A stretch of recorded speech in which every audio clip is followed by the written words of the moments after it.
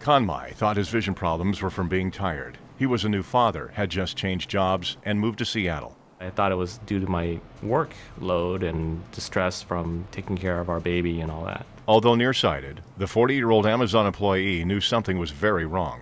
His peripheral vision was off, and letters on the eye chart were strangely blurry. If you see a letter E, you split it right in half uh, vertically, and that's what I would see. I would only see the inside half and not the outside half. Con was also having double vision and feeling cold all the time.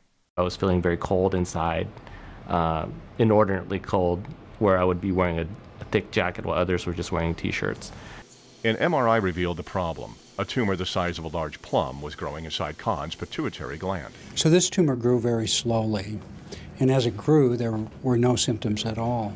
But once, once it reaches a certain size, it grows up into the brain where the first structure that it encounters are the optic nerves. Those optic nerves are under pressure, the vision nerves, and as a result of that, the patient loses vision. To remove the tumor, neurosurgeon Marc Mayberg uses a GPS like navigation system to guide instruments up Con's nostril.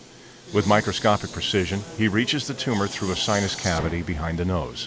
The minimally invasive surgery takes about an hour. So I have the bottom half of the tumor out. Now I'm just going to take out the upper part that's affecting his vision.